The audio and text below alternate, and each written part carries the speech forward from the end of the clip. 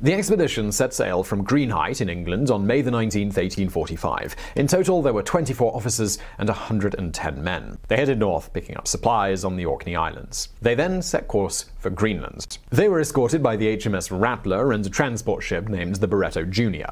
Next stop was Disco Island in Baffin Bay off the west coast of Greenland. Here, five men were sent home on the support ships due to illness. This brought the final crew number down to 129. The two ships and the men on board were last seen by Europeans on the 26th of July 1845. On that day, the whaler Prince of Wales came across the two ships alongside an iceberg in Lancaster Sound between Devon and the Baffin Islands. What happens after that is a matter of speculation. It is thought that the winter of 1845 to 1846 was spent on Beechey Island in Nunavut, Canada. The two ships became stuck in the ice just off King William Island sometime in September 1846, and they never got free.